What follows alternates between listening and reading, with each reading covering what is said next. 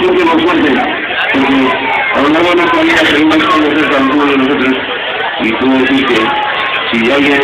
me ha acompañado más que nadie en el escenario que durante muchos años y con una fuerza impresionante así, que se va a hacer